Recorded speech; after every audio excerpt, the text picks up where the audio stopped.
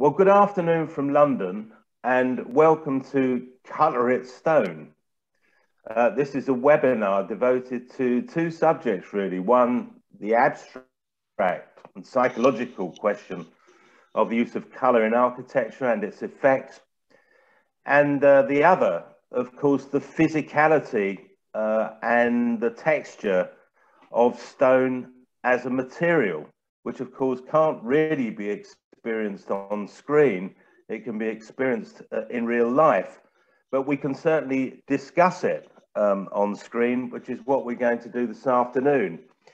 And shortly, um, we'll hear presentations, firstly from uh, Gökhan Karakuş, writer, uh, curator, proselytizer, I think it's fair to say, for the virtues of, of stone, not just produced in Turkey, but stone in general, but he is an expert on the whole Turkish scene. And then following him, Craig Copeland uh, from Pelli Clarke and Partners, an architect, but also a sculptor and an artist uh, with a, a, profound interest in the use of stone, uh, both for its textural uh, and its uh, color virtues, properties, characteristics, or attributes. Before we come to our main speakers, um, I'd like to invite a comment from uh, my World Architecture Festival colleague, Jeremy Melvin, who's been curator at WAF since 2008. Uh, and Jeremy, I think it's fair to say that while we've seen many winners um, at WAF, which have used stone as a material, it perhaps, perhaps hasn't had the kind of emphasis that certain other building materials have had because they get very specifically promoted by certain, you know, trade organizations or whatever it might be. Stone, in a sense, is a kind of the universal, it's always been there. I wonder if you have some observations about this. Well, I think that's absolutely right. It seems to me that stone has three great virtues uh, in uh, architectural applications. One is it lasts a very long time. I mean, I know that if you take um, the great Gothic cathedrals, most of them are now on their third or fourth generation of stones making the same building. But, but stone basically lasts pretty well which is why most monuments tend to be made out of stone, certainly traditional monuments. The second great virtue it has, I think, is texture. And the texture of stone, of course, can vary very, very widely from being smooth, almost like a mirror. You can almost use it uh, as a sort of semi-reflective material. You can certainly reflect light off it. Um, and uh, but it can also be quite rough. It can be quite tactile. I'm thinking of something like Palladio's Palazzo Thiene in Vicenza, where you know there's a sort of brooding menace to the roughness of the stone. Um, and then the third great virtue is a variety of colour that stone offers. Now, obviously, some stones uh, have a wide variety of colour themselves, but if you talk about, or again, think about the great um, uh, late medieval buildings just before the Renaissance in northern Italy, they use stone in a polychromatic way. So I think stone has got an enormous uh, range of virtues in architectural expression.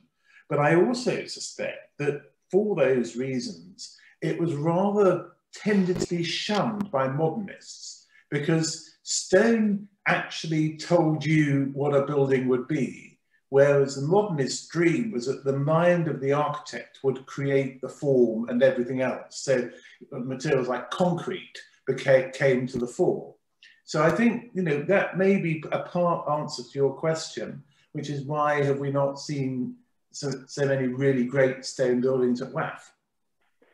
I think it's an interesting point about that, which is the extent to which, I mean, rather like brick, um, one makes a distinction between a structural material and what these days can be a cladding material. Um, one of the, the, one of the big changes, I suppose, in the world of stone in recent years has been the extent to which it can be part of a cladding system rather than being load bearing. And as I say, rather like brick, this rather transforms the attitude of the architect or the designer to how they're using it. There's a certain what you see is what you get as cladding, but what you see isn't what you get as a structural load-bearing piece of masonry, as it were, the sort of fortress or castle syndrome. Yes, I, I, I, I, I think that's right. That um, uh, you know, architects or, or um, modernist architects in particular are very suspicious of um, you know a thin sheet of, of cladding around a building that that um, could be seen to um, mitigate against reading it in purely formal or structural terms.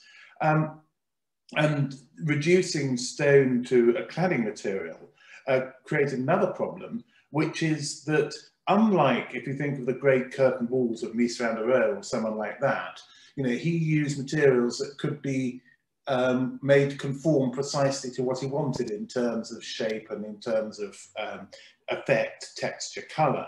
Whereas with stone, you know, there is always a grain to the stone, there's always a quality to the stone that will talk of something other than architecture, whether it's geology or culture or whatever, you know, it could be debated endlessly. But the stone is not a neutral material, it's always an active participant in the building. I mean, in that sense, this, this sounds like an advantage rather than a disadvantage. And I'm, I'm sure that Craig might have something to say about that later on. But it's a bit like, um, or it, it, it's a bit like the argument about brick slips. I mean, is it honest to show a building which apparently um, is, is load bearing um, masonry whereas in fact, um, bricks become tiles? I think it's a very interesting question. Quite obviously, uh, they are authentic brick slips, um, and stone cladding is completely authentic stone.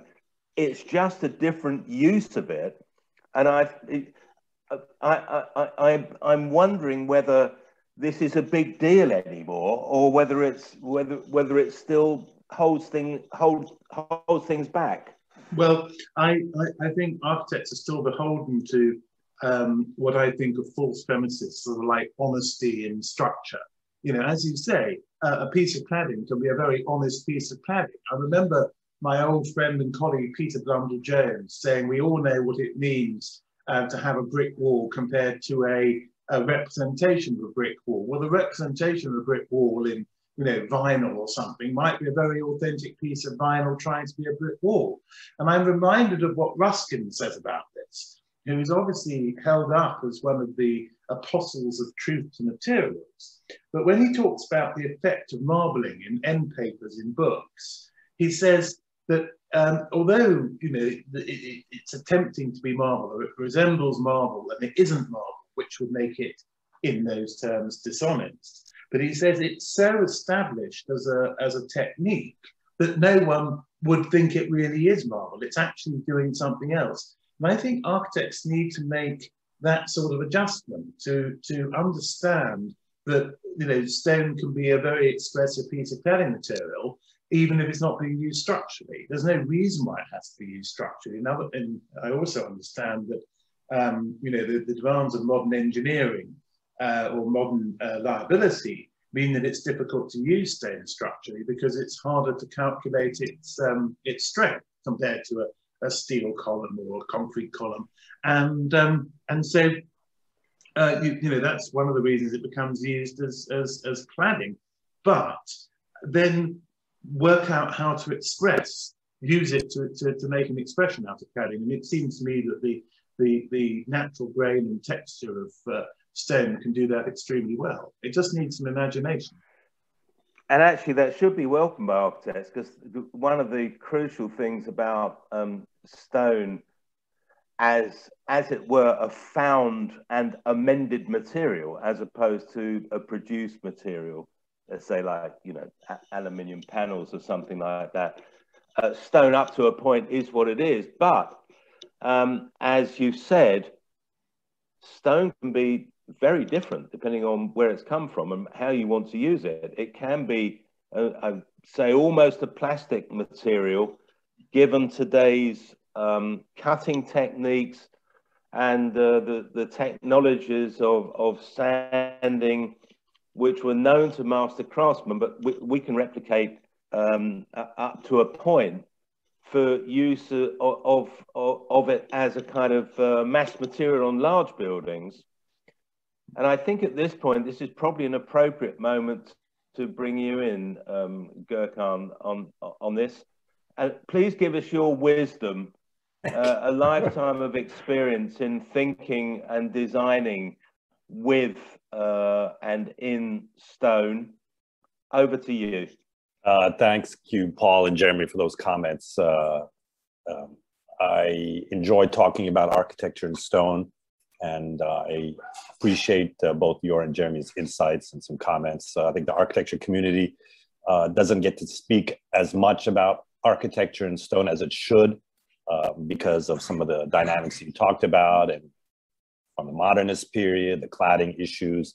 Um, but as you both mentioned, architecture in stone has been with us uh, for a very long time. It's influenced how we approach the construction and architecture. It's very central to both uh, uh, of those activities, let's say.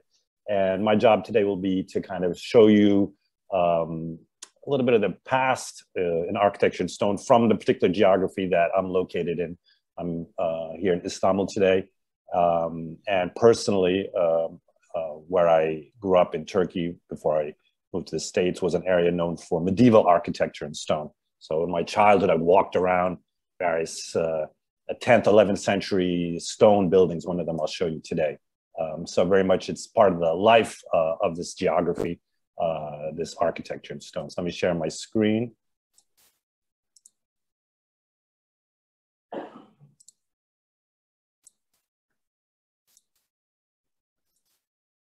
Okay, you all see it? Yeah.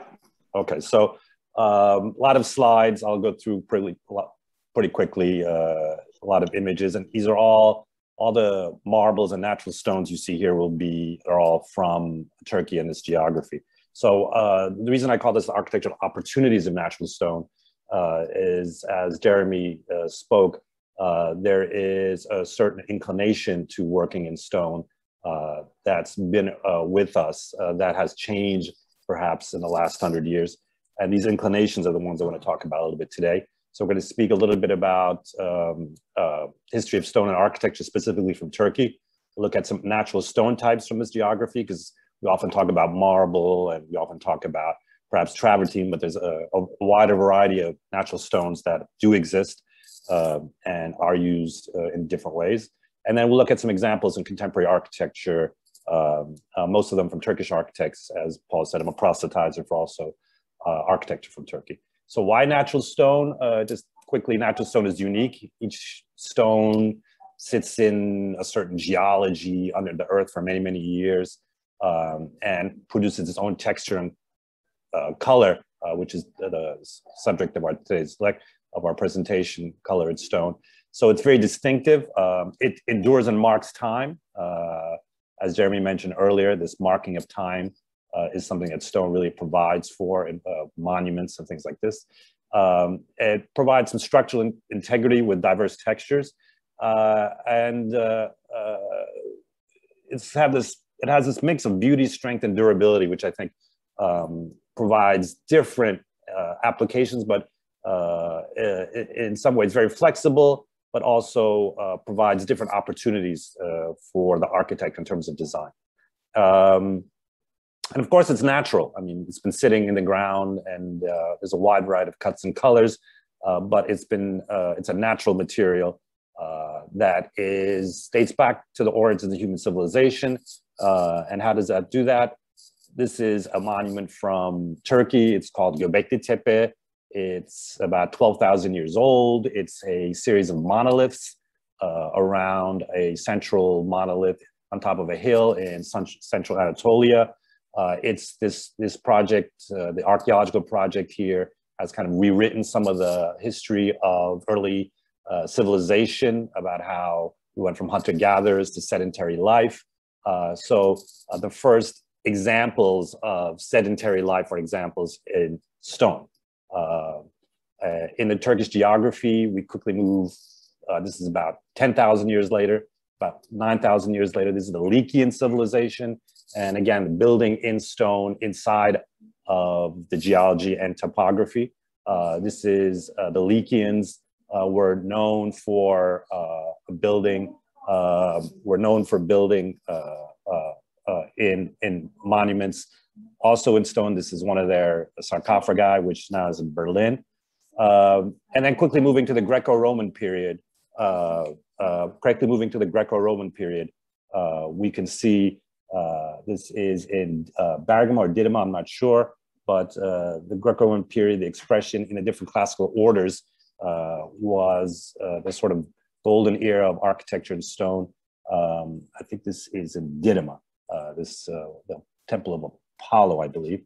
and then Ephesus later on in the Roman period as you can see the nature of the stone and the architecture, we have much more uh, defined uh, pieces of the uh, these facades, the classical orders, the between the columns, the the the uh, entablature gets much more ex expressive, much more uh, uh, working with the different stone bits, the textures to create these compositions.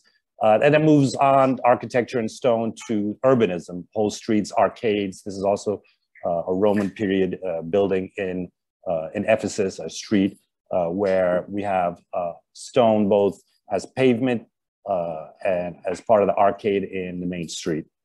Um, later on, this is building, this is in Pamukkale, which is in Denizli. Hierapolis is the name of the city, and this is all travertine. Again, you can see how stone, it's a kind of field, uh, uh, it's a continuous fields of stone, both as large pavements, uh, large pavement stones to these more simpler, uh, this is a market area. So you can see that the, uh, that the order then is simplified for this more functional and mercantile part of town. The expressive nature of the stone uh, is, here is in a much more simplified language.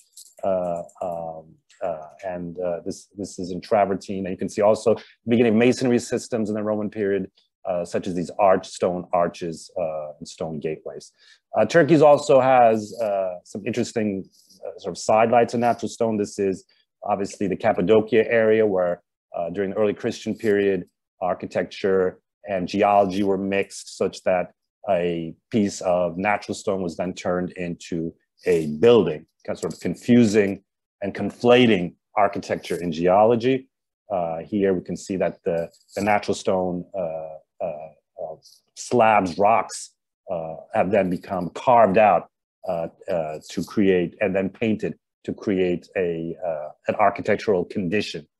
you can't really call this a building as much as it's an opportunity to, to, to create a space by a negative uh, act of architecture, which is negative act of construction. So this is an interesting proposition stone. And the thing that will, from the part of the world that I grew up in, this is in Kayseri. I grew up near here, and this is medieval uh, Turkish stone architecture from uh, the Seljuk period. And uh, the elaborate carving techniques of this period uh, are quite well known and uh, provide a maximum expression of a of these more volcanic stones in basalt and andesite. These are uh, particular to this area.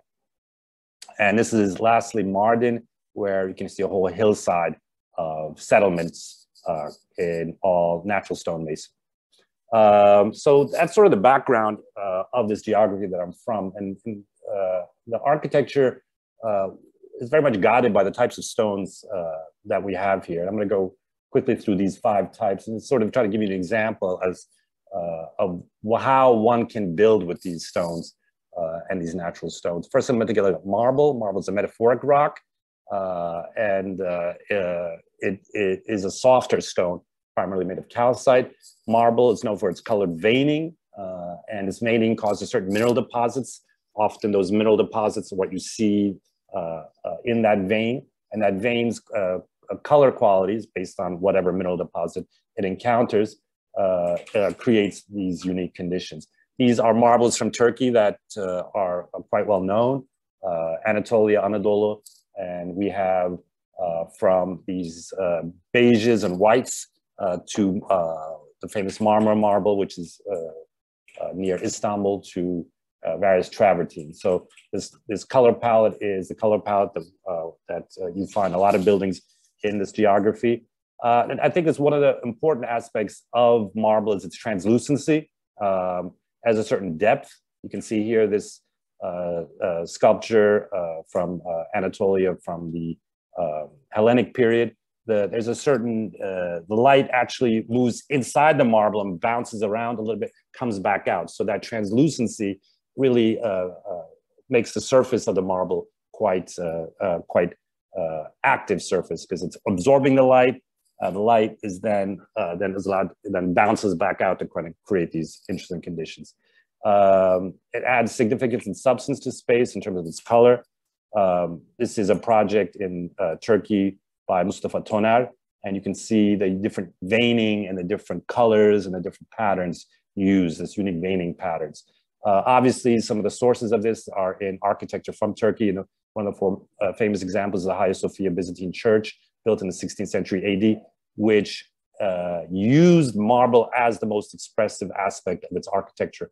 Uh, the Byzantine period uh, was downplayed for many, many years uh, because of this expressive, coloristic quality when compared to the classic Greco-Roman style Byzantine architecture was seen as something backward. But I think we, we, we, we, now know that its use of coloring it was quite unique. All these different marbles were collected from throughout the Byzantine Empire of the time uh, to create these different surfaces and different techniques uh, from as west as Italy to Africa. All of these uh, different types of marbles uh, here uh, were used both structurally, but I think importantly with the interior decorative program to kind of create this fusion.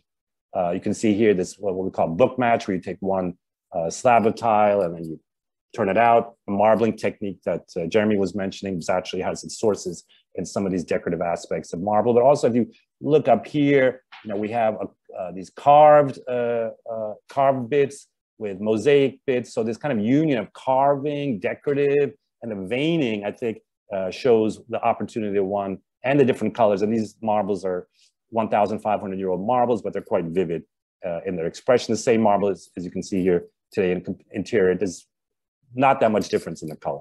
This Elazığ cherry. Uh, color pattern and texture finish are the most important.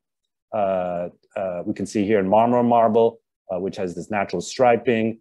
Uh, you can use it to create the same kind of surface qualities with the, ge the geometric orientation of the veins, and then use that with different tiling techniques.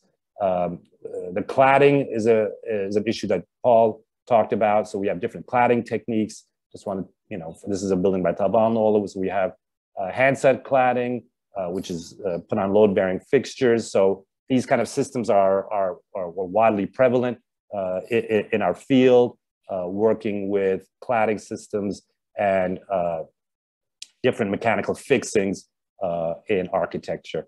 But you can also use cladding. You can use a marble surface as a rain screen with a back ventilation uh, uh, into an interior drainage cavity. So we have this flexibility in terms of, of, uh, of the different cladding systems now is allowing for ventilation and allowing the marble surface to be much more articulated, as you can see here. Uh, it provides spatial continuity marble. I think that's what's important. You know, one material used in different ways, and I think we'll see that in Craig, can create a kind of unified and uh, a, a continuity in spaces going from outside to inside.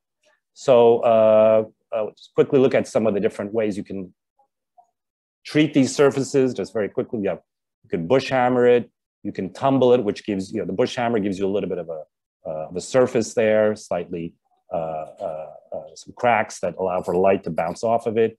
Tumbled, honed is a, a little bit more reflective. Sandblasted, again, it's, it's less, less detail on the surface uh, brushed and polished, which you often see. Uh, you could also carve marble. I think this is something we found now in the, in the last 10 years, carved marble surfaces uh, in different geometries. Travertine uh, it's actually a variety of limestone. Uh, it has its origins in subterranean mineral springs, is where, where cold water, uh, where hot water comes out. Uh, and bay travertine uh, is very popular. It's a little bit less expensive than uh, marble, and but has the same patterns and understated colors. And in Turkey, we have a variety of colors based on whatever minerals you have. And it creates a kind of informality. Here we have some big split face uh, split face uh, travertine blocks. Uh, and then also we have different surfaces, tumble, field and hone of, this I, I like to show this slide because this is actually where you can see, this is actually real travertine in terms of it hasn't been processed. And you can imagine the hot water was gurgling through here for millions and millions of years and creating this very unique geometry. And then we get to have this, you know, uh, in our backyard or in our interior. I think this is very unique uh, mineral conditions. Uh, and you can see uh, uh, the different travertines there. Let's not forget that, that patterns, tiling, and coursing are an important issue. we have many, many different over history, Renaissance, Greek, Roman, different patterns and coursings that we can use. I think this is arch architects should look a little bit deeper into these kind of coursing techniques uh, as, as a way to kind of give character to individual features of uh, their architecture. Uh, limestone, uh, it's a little bit softer natural stone. Again, uh, Anatolian geography, we have a lot of limestone. Uh, it was used often in Ottoman architecture, especially here in Istanbul, uh, because we have lots of uh, limestone quarries nearby. it's very soft and easy to, to process. so you can see here these limestone, this is a limestone wall from here in Istanbul, but you can also give it, here's a modern application uh, uh, um, uh, making it more lean and, and more spare geometry. and the last two type of stones, i would like to do this because I think we don't get a chance to talk about all these different types of stones, so bear with me a little bit. Uh, we have basalt and andesite, which are igneous stones. Uh, these are coming out of lava.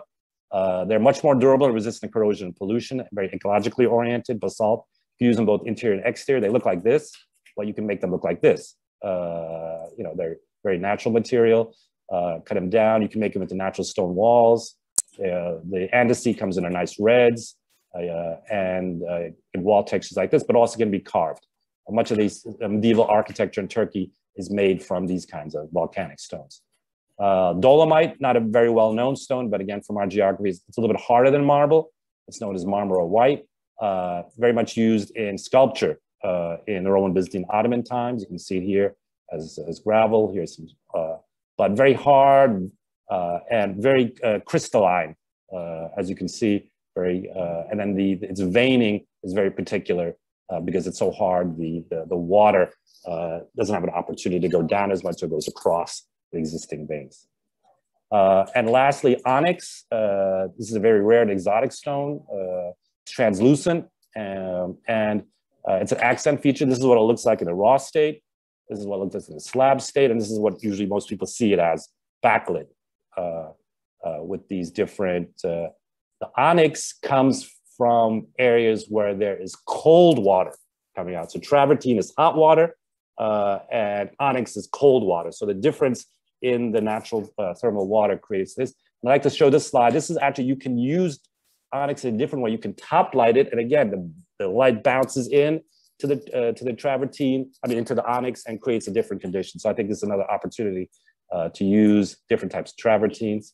So that's sort of the range of uh, stones we have here in Turkey in the last five minutes. Eight minutes, I'm gonna go through some buildings, uh, look at, uh, um, I don't know how I'm doing on time, but I'll take about five minutes. Look at some uh, buildings by Turkish architects here in Turkey. this is Han Tümertekin Otoban. This is an old 19th century building called Salt Galata, which is now uh, which is now a kind of a contemporary cultural center. And this is a marble marble walls. Uh, you can see here by Audubon. Uh, you can see that expressive quality, changing textures, creating this articulate uh, interior interior walls uh, that works with the existing neoclassical building uh, and these existing marble Marmara marble stairways. Again, Turkey and Istanbul has used this Marmara marble for many many years because it's very close by. And you can see you can also uh, use both the striping of the marmara marble, but also create a different geometry on top, these small holes down here uh, that create a secondary geometry with the veining, and then also this three-dimensionality of the marble uh, where you can, each individual piece, is then, it seems like it's a big block. Um, uh, and you can see how it also works with the pavement there uh, and also round pieces uh, using the veining. Uh, we have lots of natural stone buildings in the Byzantine and Ottoman period, and we can see how marble works with that. Here, there's an Ergin Oğlu Çalışlar, there's an architect, there's an advertising office in Istanbul. Uh, again, one of the andesites, this is an embassy by Han Tümertekin Turkish embassy in Mongolia. Uh, this is in Mongolia. I don't know if anybody's been to Mongolia, but it's very cold and windy, and these buildings sit out in the open, so you need to protect as much as possible. Uh, so the andesite was used on the exterior as a facade uh, element, uh, and then on the interior, different kind of beiges are used. And also, andesite is a natural material. You can see how it works well with timber. Ottoman Hammam, this is by Sinan. It's the Kılıç Ali Pasha Hammam in Istanbul. Uh, was renovated by Cafer Bozkurt architects. Uh, here it is sitting on the street. Here's the interior. Uh, and you can see the Marmara marble again, uh, how it works with light uh, coming from the top, uh, and how these contiguous marble pieces creates this very clean and organized interior and light, water. Marble works well with water, pools, uh, and uh, so uh, it's an opportunity to do something with reflective surfaces and reflective surfaces with water, which is this hammam is, is, is full of. Uh, this is building I showed earlier, Toner Architects, again, different types of marble, uh, veining with, with on, the, on the ground here, uh, water jet cut tiles. Water jet allows you to create any kind of geometry you want. Uh, and it's one of the CNC based cutting techniques. You can see this column wrapped in marble. Uh, and then the whole interior where glass and marble work together to create a kind of uh, union of color and light. Uh, our uh, presentation today is uh, about color, and you can see how all these different colors work together. And this is a, this this is a store showroom for Turkish traditional home furnishings. So you can see how carpets work well with the stone also. Uh, we talked about the softer limestones, and this is a softer limestone uh, facade by Boran Ekinci, also in Istanbul, creating this pattern, which then uh, uh, has two levels. Both it's a relief pattern, but it's also incised within that uh, top relief uh, layer is another geometry you see up here, quite expressive, quite vivid. And these types of limestone surfaces over time, they get harder. So it has creates a different patina.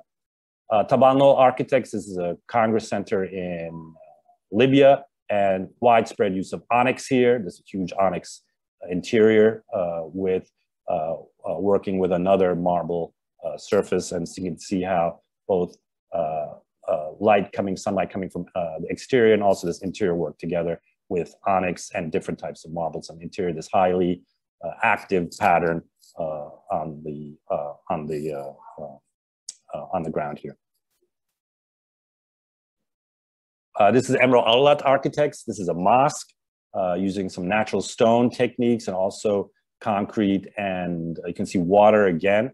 Uh, and uh, all these are kind of pulled together with some reinforced concrete uh, for a mosque outside uh, the suburbs of Istanbul. How natural stone masonry, these, these, these kind of walls create this, this texture, but it's kind of balanced with, balanced with a appreciation uh, of uh, light and uh, reflection off of water and natural elements. I find this a very biophilic building.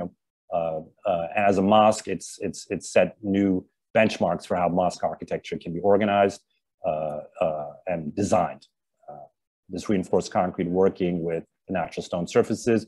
Again, another mosque using the same principles, but with andesite uh, in Ankara by Hilmi Güner and Hussein Bütüner the Mogan Mosque. You can see that andesite surface that we talked about earlier. Tabanlı Oğlu Architects, this is a exterior facade in uh, Bodrum. Um, and uh, we can see here both the cladding and on the interiors, uh, we have extensive use of this kind of grayish marble from the Western Aegean area. Uh, Mutlu Çilingiroğlu Küçükçekmece City Hall, we have here travertine. Uh, travertine is seen as a kind of more simpler uh, type of natural stone, but lately it's gained popularity because of its natural techniques, the natural veining. So I think this building, this is a public, this is a municipal hall, uh, elevated uh, the notion of travertine uh, in, in, in, in, architecture in Turkey, especially as, as well as this building, Emre Arolat Architects, the Palmarina. Uh, this is in Bodrum, where it's all different types of travertines, different coursing techniques, uh, different textures, different colors. But again, it's all in travertine. Uh, so uh, one material, different surfaces, different colors, simplifies really your, as an architect, it kind of simplifies what you're doing because you're focused on that one material, but all the different opportunities uh, that the material presents gives you uh, uh, an ability to articulate your volumes and your and your geometries in, in, in, different ways. And this was used in the advertising. This is by uh, Own Architects and Johnson Architects. It's a hotel. And here I like this project where you have these shiny marble interiors, but then you have these natural stone walls on the exterior. And this is in a kind of Aegean architecture. Uh, you can see here, uh, it's the Aegean setting. Uh, also uh, blends in with reinforced concrete, but the interior, these marbles, uh, working with the natural stone walls with embedded marble bits, mosaic bits. here we have a green local marble under the pool. So you know, all these different stones working together to, to really uh, express the character of this area in Bodrum, both the vernacular architecture, but also uh, this green, this green marbles working with the natural setting. Han Tümertekin again, natural stone in the Aegean, the B2 house. And in this house also we have a natural stone uh, on uh, the wall and also on top of the building, uh, embedded within the steel structure. Cengiz Bektaş, we have uh, stone, concrete, timber uh, working together. Nevzat Sayın, this is a kind of ecole that was in Turkey for many, many years, this natural stones with reinforced concrete. Uh, Nevzat Sayın, an important local architect using the vernacular. And then finishing up with a couple more last buildings, Predak Architects, this is a building outside of Turkey in Qatar, where we have these very large split face, uh, split face uh, uh, travertine blocks on the surface, as you can see them here, very, very large, uh, and creating this kind of uh, facade with different, as you can see, when the sun hits it, each piece uh, at its particular angle, particular texture provides different, different, different appearances. And in the interior, we have a more serene, more calm beige. Avcı Architects, again in Bodrum, with a kind of travertine facade on these elements uh, and, and, a, and a local Bodrum. And then the last building I want to show is in New York. This is by Nazım Kızılsancar. This is a facade. Uh, we talk a lot about facades, and this is uh, uh, this facade has is a is a has has uh, uh, is actually on a composite uh, panel. So it has it's a veneer stone from Turkey. It's a it's a I believe it's one of the, it's a basalt. So it's a veneer on a panel and allowing the facade to be much lighter. Uh, and also with regard to corrosion and pollution uh, in an urban setting would be able to deal with that. And also in terms of uh, sustainability and recyclability, uh, uh, it's sitting on aluminum, so it's easy to recycle. Here it's in industrial setting in, uh, in um, New York. Oh, sorry, I thought that was the last one. We have one last by R2-3, again, back on the Aegean kind of temple-like uh, art gallery for Arkas. Uh, so architecture, just the complete, you know, architecture and construction, the performance, durability of natural stone is important. Uh, installation, installation, maintenance are the key issues we have with uh, with uh, uh, stone. So you want to make sure. I think this is something that that that that Craig will talk about all these all these issues. and this is my talk and our talk today was sponsored by Turkish Stones. It's a promotional band uh, brand promoted by the Istanbul Mineral Exporters Association. Um, and uh, Turkey is a whole night of natural stone, uh, situated in the middle of the Alpine Himalayan belt. uh, its unique geography has many types of different stones, uh, uh, uh and the industry uh, in Turkey takes advantage of these thousands of knowledge in stone architecture Uh, and innovative products uh, with technology to make the luxury of natural stone accessible. Uh, Turkish stones, as we showed, this is a variety of Turkish stones, each from a particular geography of Turkey, Anatolia, Marmara, Elazığ, these Muğla. you can see the natural stone quarries in Turkey with all these types I talked about today, existing throughout the geography, west and east, and also the different color opportunities. Turkey is the leading exporter, uh, leading exporter with $1.8 billion exports, uh, very large industry that can do a lot with uh, natural stone and architecture. So thank you very much. Uh, hopefully I got in there on time and showed you what the possibilities, op architecture op opportunities of natural stone from Turkey is. Thank you very much.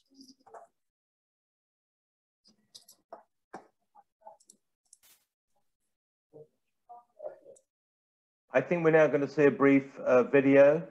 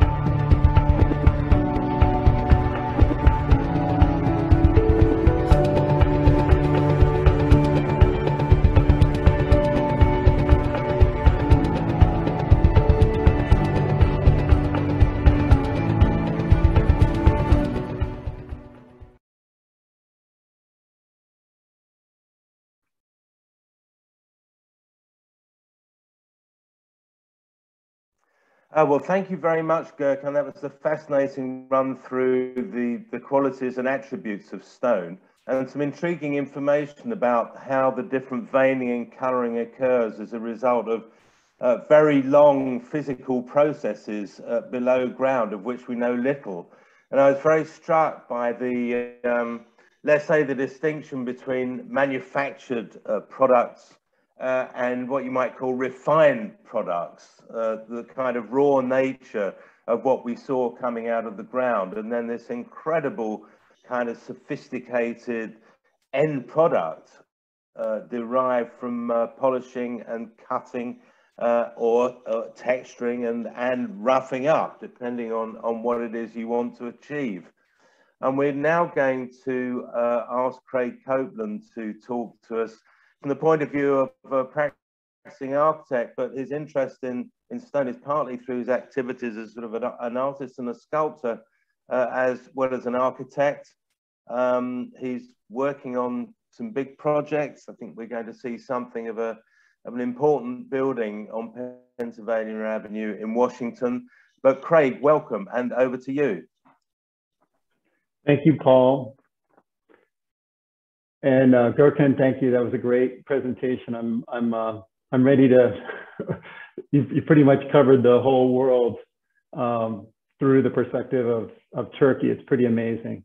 Um, some really great examples and a really clear description of just the amazing possibilities um, with stone.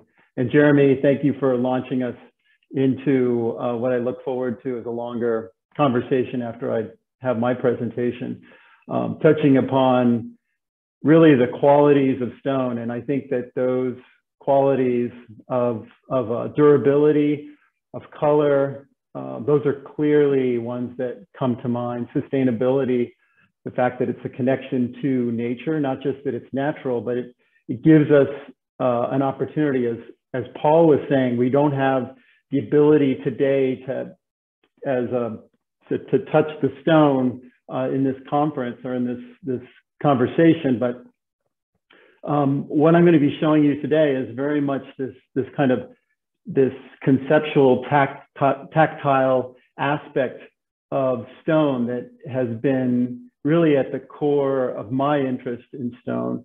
Um, I'm very interested in the, the color of stone, the, the, the, actual color of stone, but it's the texture of stone, um, not just in its final form, but also in the process. So um, with that, I'm going to share my screen.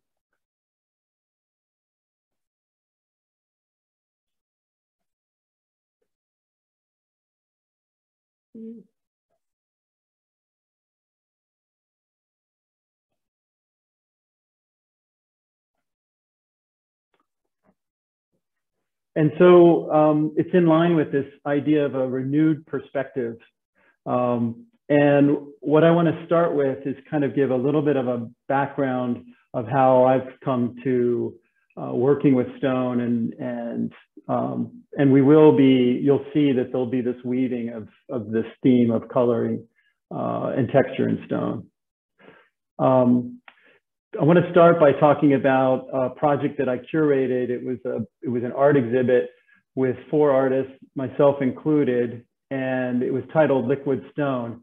And the the idea was to to think of stone and to, just to think of it in a in a broader sense um, in terms of time. Um, here you see two images juxtaposed. Um, both of them are moments in time, um, thanks to the to the camera. Um, one of those moments in time is more extended, and that's typically the way we see stone. Um, water, on the other hand, is happening very quickly, but they're both they're both liquid when you when you really think about it, especially marble. Um, this came out of an idea um, that was a collaboration with an artist that I had worked with um, for many years, going back to graduate school, um, William Steiger. He and I were, were paired together and on this theme of renewed perspective, we were paired because we were asked, uh, everybody, they had eight artists and eight architects. This was a studio that Frank Gehry and Claes Oldenburg were teaching, and they wanted to get artists and architects to work together. It was my first chance to collaborate and really broaden my own perspectives. Um, so what came out of that um, specifically was this idea of a hydrotherapy center, but more importantly was a process of collaborating, um, in this case with another artist. And that led, you know, many years later to this idea of, of liquid stone, where we, we juxtaposed our, our ideas about, about um, time and material. And I think that's a big, that's an important way to think about stone uh, is is that time is is ever present. It's a it's a memory of time and a reminder of time. Um, so the the one one of the pieces that I showed you see here on the right uh, is these are these three sprouts, and this is a conceptual piece of three seeds that are conceptually starting as cubes, and after a gestation, a conceptual gestation of two or three months, how would those seeds, those cubic seeds, begin to germinate? Um, and this is this is the way that I like to play with the idea of time um, and the use of stone. Two colleagues who were also featured, you see them on the left, uh, also play with this idea of the plasticity of stone. And these are pieces that um, they call Smurfs, and they are very plastic, but they're they're made out of the dolomitic, the very hard dolomitic stone that, that Gökhan was talking about. Uh, they even had a video in this particular um, exhibit uh, that was an animation of one of these pieces moving around to launch your, your imagination into this plasticity and movement that's associated with it. Um, but, but actually a, a, precursor to this was my first hands-on carving, which you see here. This is this was um, this incorporated traditional pointing techniques, which is something that goes back um, thousands of millennia, really, um, in terms of building up models and then using a pointing technique where you actually go point by point. You're doing a kind of a dot to dot uh, in 3D. And I wanted to go through this process in part to um, understand how you excavate stone and what happens as you excavate stone. Uh, in this case, in a very intimate way. This is a, what I would call a tabletop sculpture, which is a lot of my work. Um, a few years later, I had an opportunity to do a monumental sculpture uh, and begin some of my monumental carvings. And this particular piece, like the, uh, the first one that you saw, the Anello uh, Ritorto, this one, Anello Echo, was an opportunity to not only use traditional um, processes of, of modeling in clay, plaster, and pointing, but also to use emerging technologies with the computer to actually scan and put this in the computer and then to, um, to then procure the, the blocks of stone and to do it in uh, a somewhat methodological way so that um, given the scale, uh, it could be um, it could be attained uh, and, and stay on track to, to a certain extent. So this is me working on it, uh, everything done with handheld tools, but again, using um, to initiate this using um, a combination of traditional uh, uh concepts or uh, traditional um, approaches, incorporating that with a with the computer. Um, and what, what's fascinating at this scale is it really the this is you're you're starting to get at a larger scale than the intimate tabletop pieces and you really can can get lost in this this idea that you're you're immer, immersed in this quarry of sorts. Uh, and here you see some of those steps along the way. And then the final um, or as I say the the substantially complete because um, uh, there's always something that you see and an opportunity that you might want to return to. This, this is something that um, this, you know, this is giving you a little bit of background from my perspective as an artist and my approach to stone. Um, another perspective uh, to my approach to stone comes through the design world. And I've been very fortunate for um, over a decade to be teaming with a number of different stone companies uh, in a, uh, an annual uh, event called Marmomac. And um, with that, there's an opportunity, the, the idea of Marmomac, the marmo of Marmomac is marble or stone, the Mac is machines. And so this is an opportunity for companies to demonstrate their marbles, to, to demonstrate their fabrication, or in this case, uh, pairing with with uh, artists, designers, and architects like myself to to see what are the possibilities um, using contemporary tools. In this case, you see on the left a diamond wire, and the idea was to create this very thin panel, but something that's more plastic. And you could see on the right side, getting it to 2 cm, it's, it not only has its structural integrity, but it also has a um, translucency. It really showcases both of those aspects. Here you see some of the um, some of the concepts behind it, and then this is actually at Marmomac, where you you can see the the um, the demonstration of of the application of those different aspects.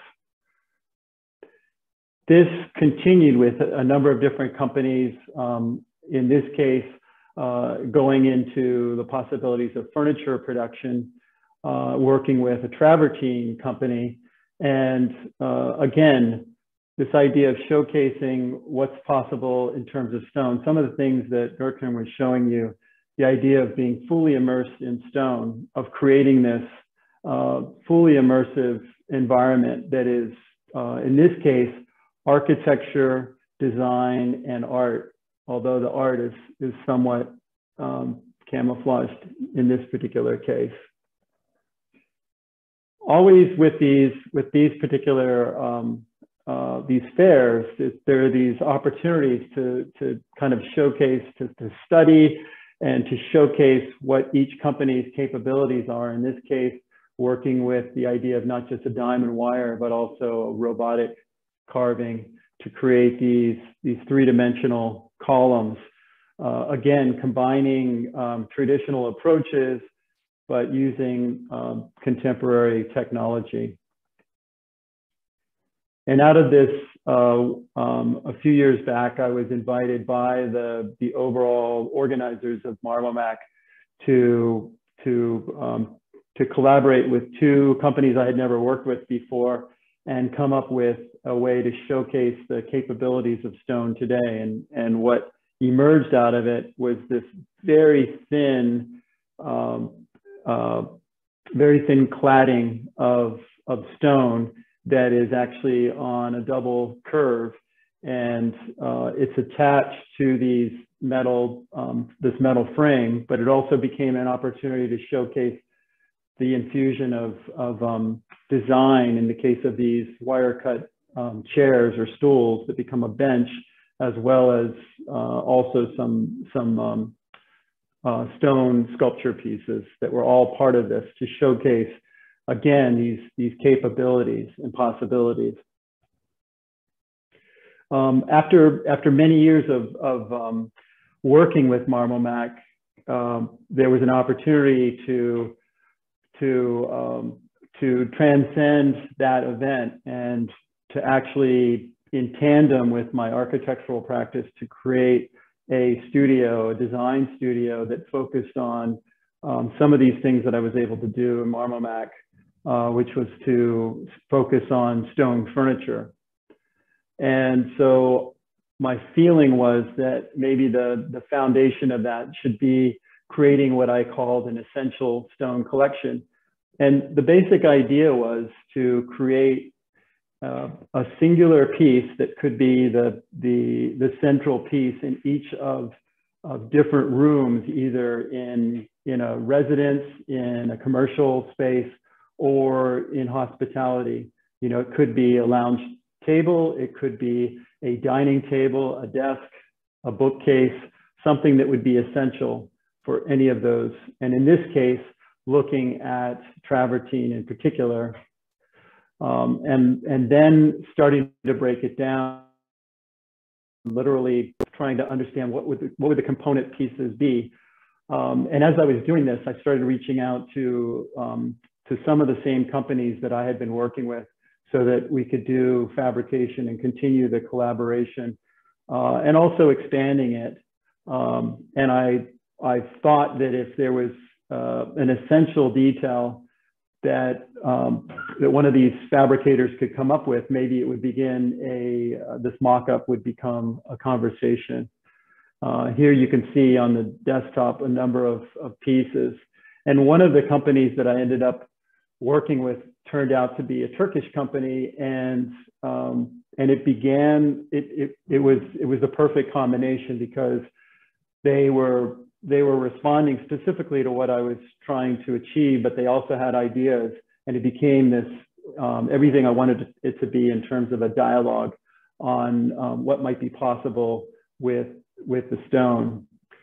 So um, we agreed that it would make sense for me to visit them. So I went to their their um, their factory in Bilecik, Turkey, which is like two hours, a little bit over two hours outside of Istanbul. Um, and it's actually where the Ottoman Empire began. It's, it's right on the Silk Road. So it's a very interesting historical location. But it's, it's in this factory that I was able to um, really talk to the engineers, talk to the developers, the, the people that were um, working with the material, and begin to see what are the different um, possibilities in terms of combining um, solid pieces of stone and various laminations of stone and uh, stone to stone and stone to metal. And it really took, took the research to a whole nother level. And out of that, um, we developed uh, a few of the first mock-up pieces. Uh, here you see the, the uh, dining table, which with the exception of a couple of metal fasteners is, and also um, the, a, a, an epoxy uh, netted fabric that's between two, two thin pieces of stone. This is all stone. So this is, this is 95, what you're looking at is 95% stone.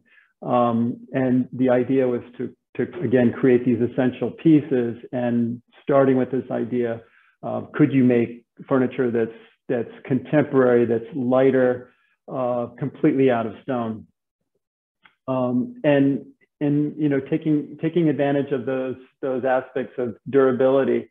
Uh, they got the largest person in the factory to sit on this, but we also had this guy and other people sitting on it. Was clearly um, very strong, and and it was uh, it fulfilled those aspects.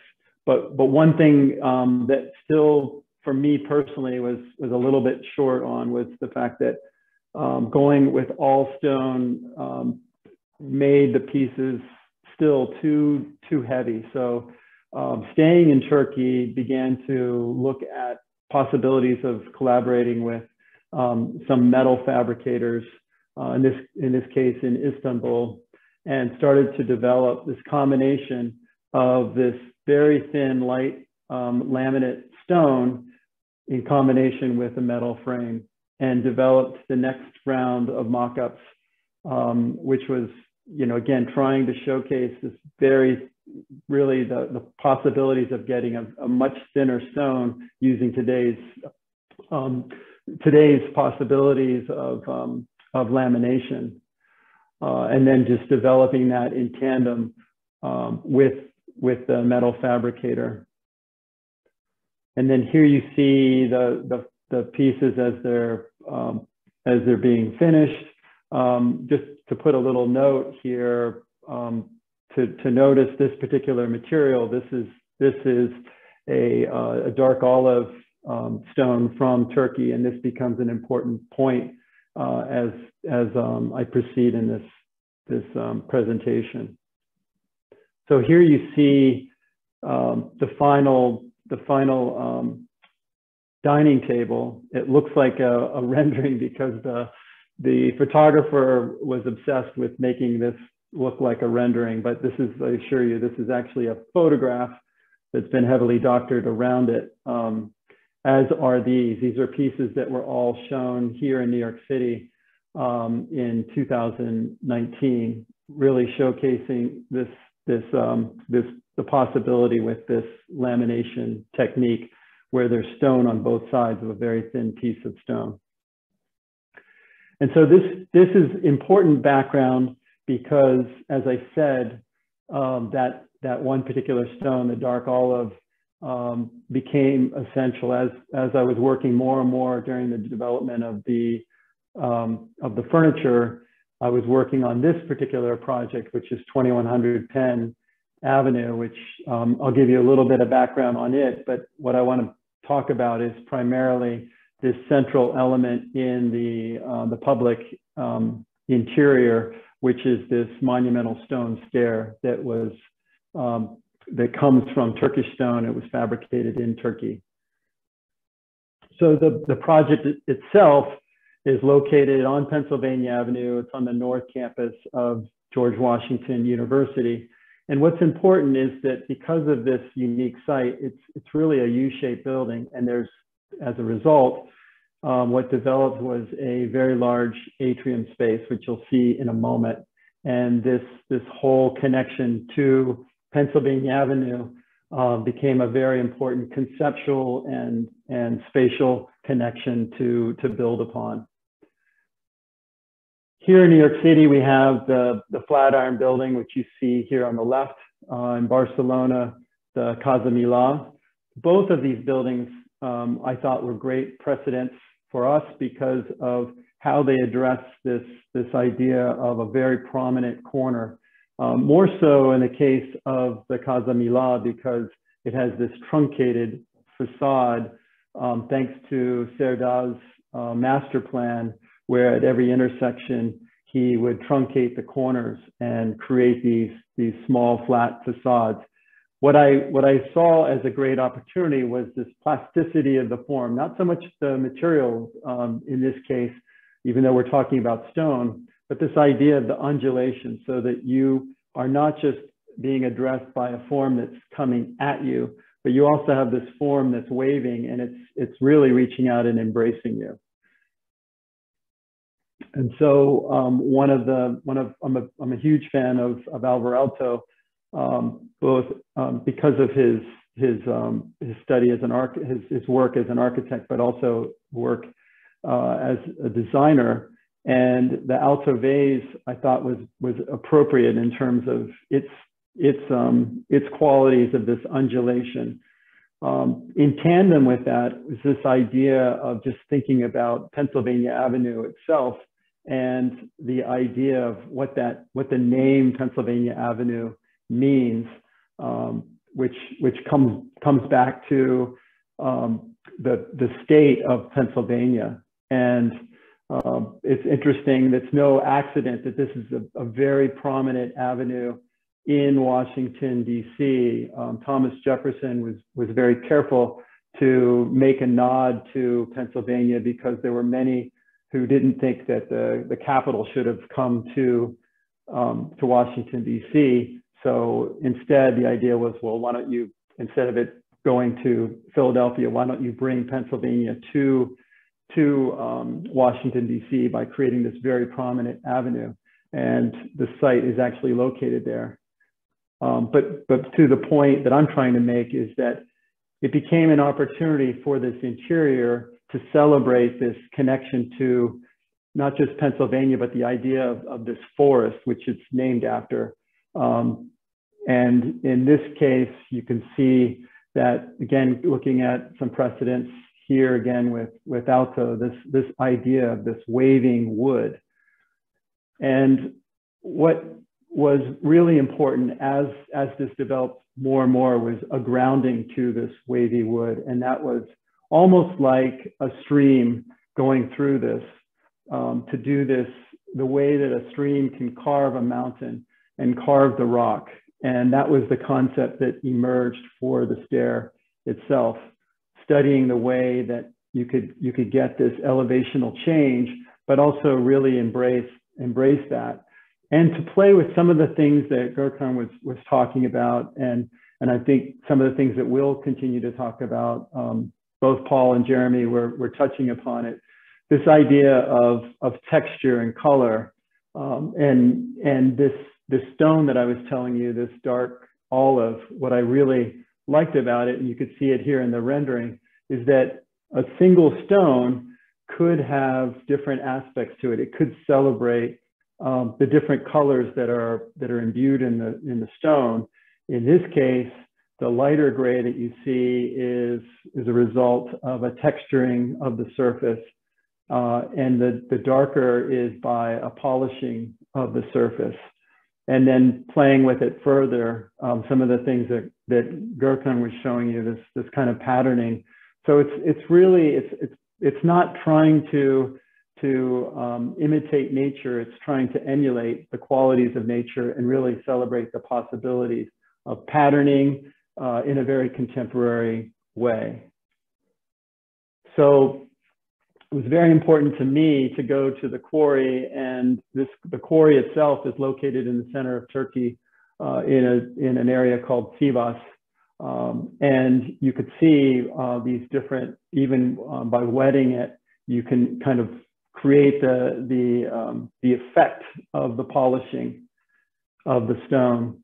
And here, working with uh, the fabricator as well as with, with the, um, the installer and the, the client, we had a mock-up made to get to, to, to make sure we were understanding um, there was a there was a collective understanding of expectations of what what were going to be the qualities of the texture, what were going to be the resulting um, colors and surface features. And um, through a, a, number, I think we had four or five dry lays, we laid out the entire, um, the entire field of stone for this lobby and um, built up all of the walls and uh, the stair itself so that we could see how these were all working together in tandem. Um, and then here you can see it. This is actually, these are installation photos that were taken um, just a few weeks ago.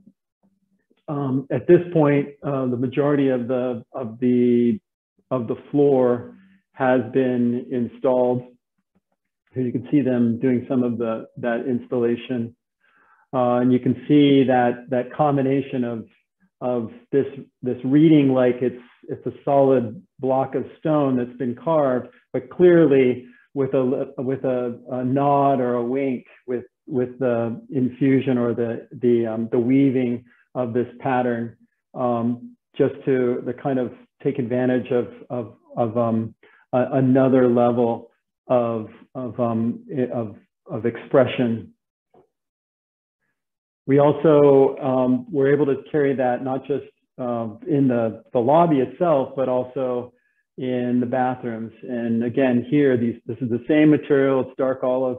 And I think this is a great, this is a great way to think of this material and to think of stone in general, is that it's through the texturing that you can really begin to, um, to demonstrate and, and capture the light and the color variations.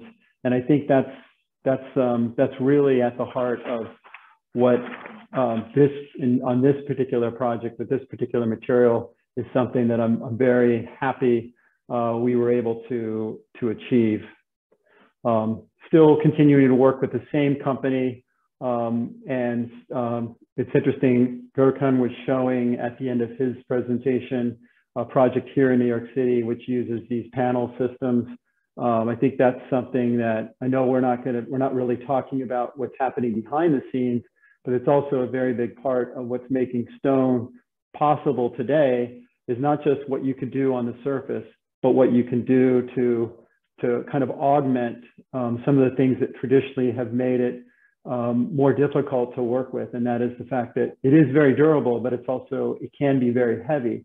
And if you, if you team it with another material, there are great opportunities for um, making it more accessible for more applications.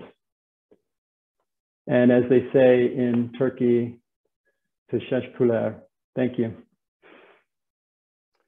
Craig, thank you very much for that. Um, a wonderful presentation and uh, a kind of very different and excellent follow-up to uh, Gökhan's earlier uh, thing.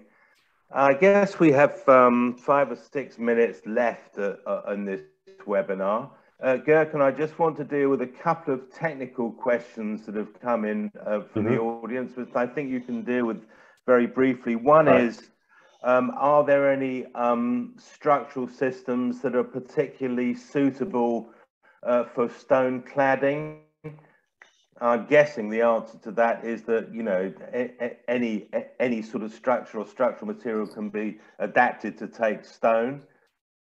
Uh, yeah, I mean with natural stone tiles on on uh, building facades, the mechanical anchorage systems, uh, obviously both uh, hand uh, and, and uh, basically screwed in, but I think the, the key challenge there is for taller buildings, depending on how how tall your building is.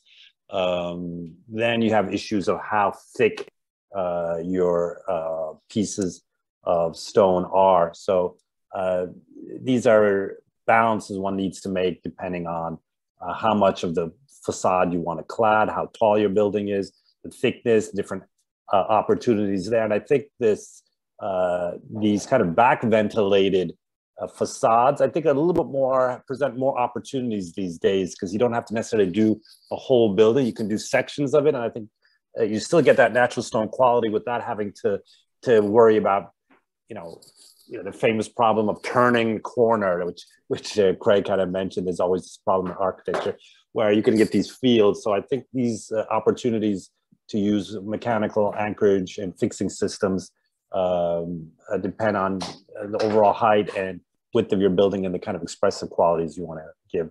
Thank uh, you. But the, the, the, second one uh, from Nizrina Iskandar in Indonesia.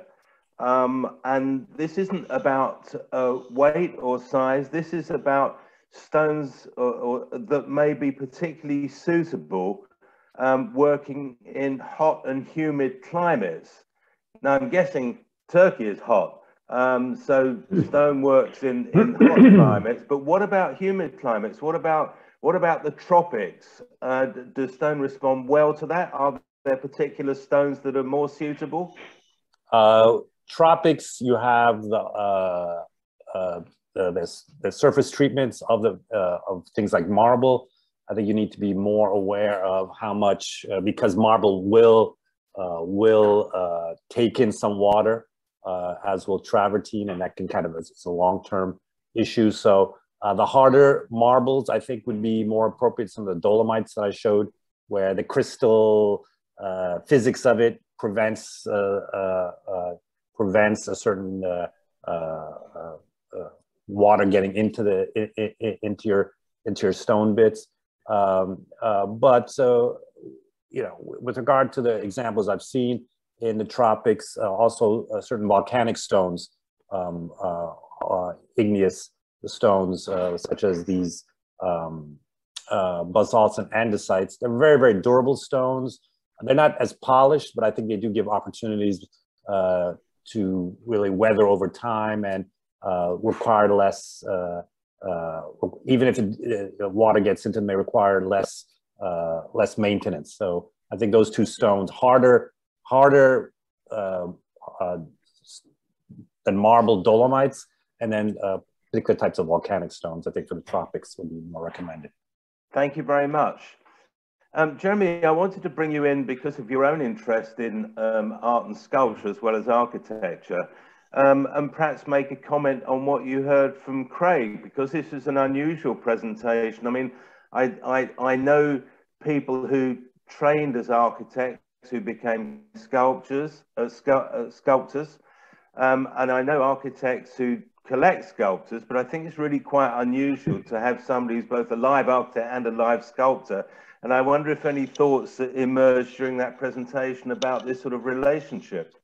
Well, I, I, think it's an extremely interesting one, and despite all the um, sort of uh, noise and uh, flannel around the relationship between art, art, and architecture, actually there are very few really specific studies I'm aware of about the relationship between sculpture and architecture. I think one of the few was done by Penelope Curtis, who was one of our speakers last year, curator um, initially at the Henry Moore Institute, then at uh, Tate Britain, and Natalie at the Gulbenkian in Lisbon.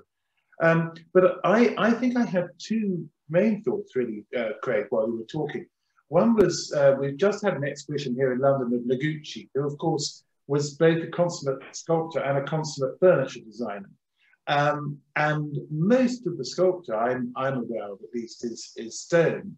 I'm not sure he ever used it in furniture design or furniture production, but still there's something of the forms that he uses and you use, um, which uh, I think suggests an affinity.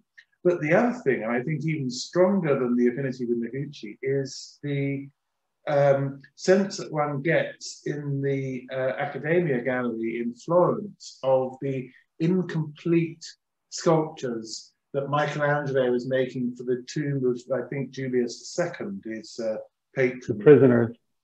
And in them, you, you know, these are uh, uh, unfinished lumps of stone in which you can see a human figure beginning to emerge or being released by Michelangelo's sort of stonemasonry skill. And I think that's an extraordinary sense of how you can wrest something from this natural object, this, this stone, which has all sorts of qualities and all sorts of qualities which we can't really uh, control ourselves. You can only allow it to be what it wants to be by the, the, the use of your skill and your judgment. And I, I, I found that one of the most moving experiences of going to an art gallery, and I've been to a few, um, and it's still, even though I haven't been there for 20 years, it stays in my mind as something quite extraordinary because it really is something about the physical and the spiritual, something about form and meaning, and something about experience, about empathy, that one empathizes with these souls trapped in the uh, in the stone that Michelangelo was trying to free. Um, but I, so those, uh, not that that relates directly to your building on Pennsylvania Avenue, but those are senses I think that one can get of the potential of stone um, to become an expressive material. And I think the way you use it, Pennsylvania Avenue, was, was quite magnificent in all sorts of different ways. You said it from its light reflecting qualities to its uh, textures to its um, massive uh, qualities. And I think that's something that um, architects would do well to consider more closely than often they do. Craig, any comment? Yeah, I mean, um, wow. what what I would say about um, touching upon what what you're saying, Jeremy. Um, first of all, Noguchi, his his um, his museum and his his studio is about a mile from where I started my um, my um, my stone design company, uh, and I'm a huge fan of his as a um, not just as a designer and a sculptor, but also as a as a landscape um, as a landscape designer or really a placemaker in the way that he used stone in placemaking. I think is pretty amazing.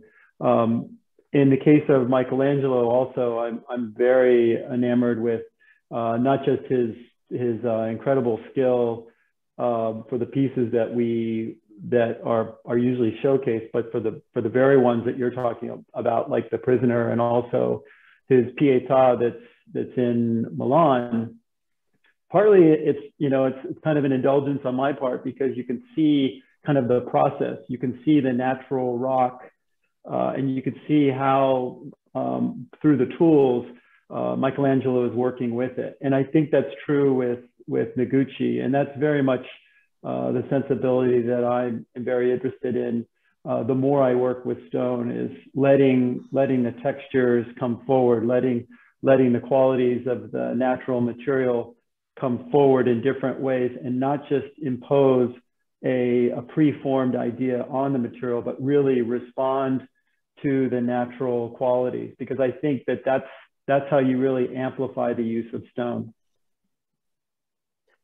I think that's rather a good note on which to bring this webinar to a close. I've been intrigued by it, as I'm sure our uh, visitors from around the world have been. Um, and I'm struck by um, certain connections which were uh, very unexpected for me. For example, um, Gökhan, you, you were showing uh, these, um, these, these stone crafted building facades of buildings which had actually been incorporated into the geology and the topography of their surroundings uh, from millennia ago, which would seem such a, a strange idea um, to us now. But in a way, that it sort of exemplified the possibility of uh, exploiting the natural, or let's say responding to the natural in one sense, but then exploiting it by taking something from these materials um, and transforming them, going on to Craig's presentation, either by sculptural and craft skills, or uh, probably more relevant for most architects, through the sort of technologies which are opening up new worlds for stone. No longer does it have to support its own weight. It can be a thin, translucent, almost lightweight material, especially where used in combination with quite simple technologies and, and simple other materials. And I was also struck by, let's say, the relationship between a hybrid facade system where you may be using stone for effect and for light, um, what lies behind it, is support uh, ventilation and, and air and different materials.